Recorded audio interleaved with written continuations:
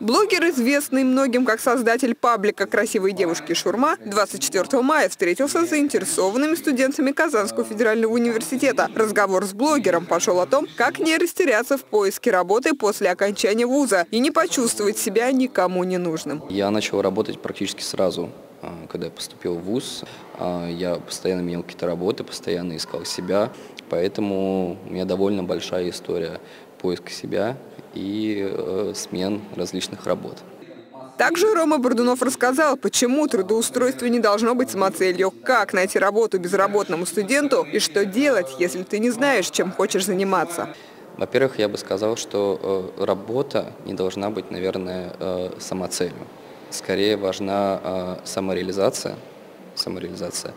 И как это банально не звучало бы, важно заниматься тем, что тебе действительно нравится. Это довольно, конечно, банальный, пошлый совет, но а как еще жить? Ну, я считаю, что действительно лучше делать то, э, что тебе нравится, искать возможность еще заработать на этом деньги, потому что если ты будешь делать э, то, к чему у тебя не лежит душа, ты сделаешь плохо и себе, и людям, на которых ты работаешь.